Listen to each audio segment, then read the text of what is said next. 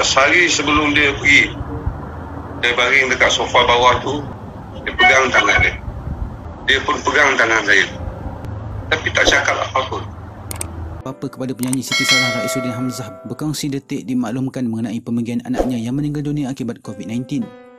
Beliau yang serta dalam majlis tahlil dan bacaan Yasin untuk anaknya berkata, dihilang kata-kata apabila dimaklumkan oleh menantunya Syuib. Sebenarnya apa yang berlaku, apa yang terjadi adalah satu ketentuan yang telah ditetapkan oleh Allah. Bukan rancangan kita, bukan rancangan siapa-siapa. Ini yang dikatakan takdir, ini yang dikatakan ketentuan, ini yang dikatakan nasib.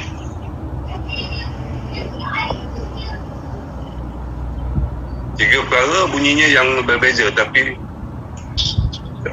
perkara yang sama adalah ketentuan daripada Allah. Apabila berlakunya benda ni saya tak tak berkata apa-apa.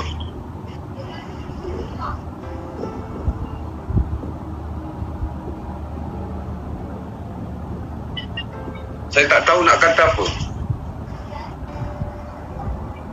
Pada malam Syuib datang jumpa saya.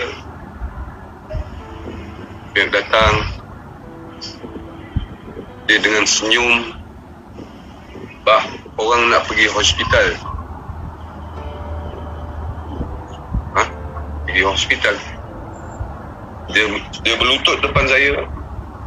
Dan dia kata Siti dah tak ada bah Saya rasa dunia ni macam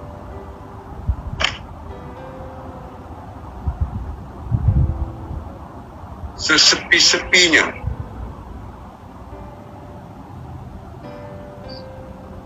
Kalau saya nak bagi tahu macam mana perasaan saya rasa tuan-tuan lebih faham perasaan saya dengan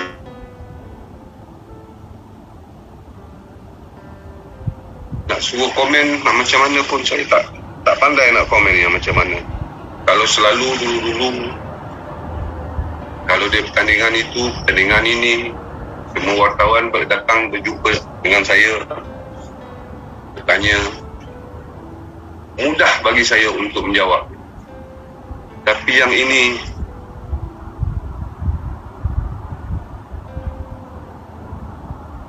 memang payah.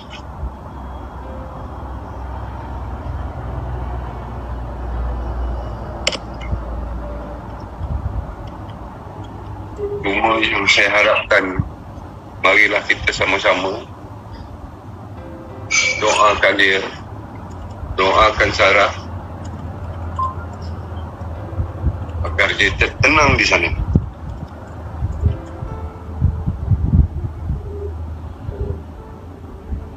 Kita hanya dapat mengenang aja lagi Dan dia tidak akan kembali lagi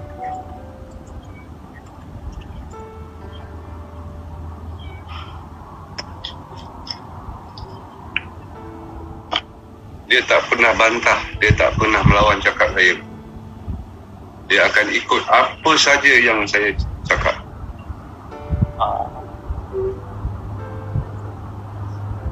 Dari awal dia nak jadi penyanyi. Baiklah jadi penyanyi masuk rakaman ke dalam studio. Masa tu saya terpaksa guide dia lekang saya dengan dia.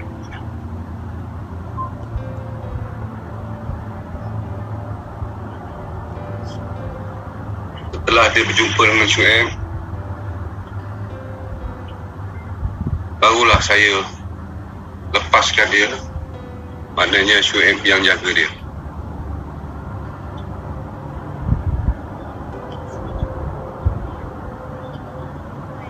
Dia manja dengan saya. Hari yang satu hari tu saya rasa sehari sebelum dia pergi dia baring dekat sofa bawah tu saya pegang tangan dia dia pegang tangan dia Dia pun pegang tangan saya. Tapi tak cakap apa-apa.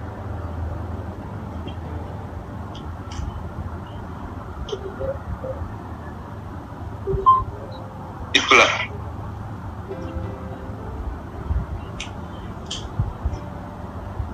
Saya tak dapat nak bagi perundangan yang lebih buat masa ini. Kami mohon kepadamu, Ya Allah. Kau angkatlah pandemi COVID-19 dari negeri dan negara kami, Ya Allah. Cukuplah, Ya Allah. Ujian yang kau berikan pada kami ini sudah cukup untuk mendekatkan diri kami kepadamu, Ya Allah. Jangan kau berikan lagi ujian yang besar kepada kami, Ya Allah. Ya Rahman, Ya Rahim. Kami rindu pada masjid, Ya Allah. Kami rindu pada surau, Ya Allah. Lama rasanya kami tidak salat berjamaah di masjid, Ya Allah. Kami rindu menghadiri majlis-majlis ilmu, Ya Allah. Apabila keadaan pulih nanti, kau kuatkanlah hati-hati kami. Untuk hati-hati kami cintakan ke rumahmu, Ya Allah. Hari ini kau halang manusia untuk pergi ke rumah-rumahmu, Ya Allah. Balak yang kau turunkan kepada kami semua, Ya Allah. Ya Allah, Ya Tuhan kami, akhirnya Ya Allah, kami mohon sekali lagi, Ya Kau tempatkanlah almarhumah Siti Sarah Raisudin, Ya Allah. Semua orang beriman bertakwa. Sekiranya ada amal-amal saleh yang dilakukan beliau, Ya Allah. Kau terimalah, Ya Allah. Kau jadikanlah anak-anak yang ditinggalkan. Anak-anak yang soleh, solehah.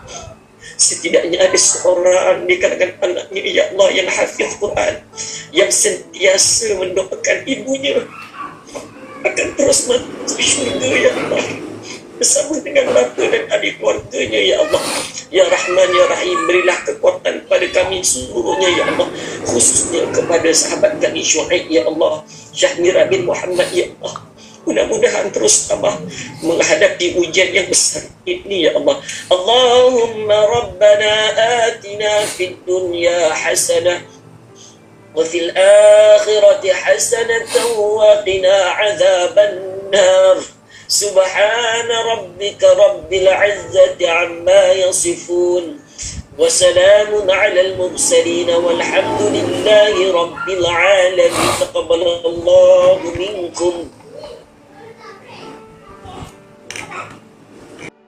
Terima kasih kerana menonton. Kalau anda suka video ini, jangan lupa untuk like, share dan subscribe. Kita jumpa lagi dalam video akan datang.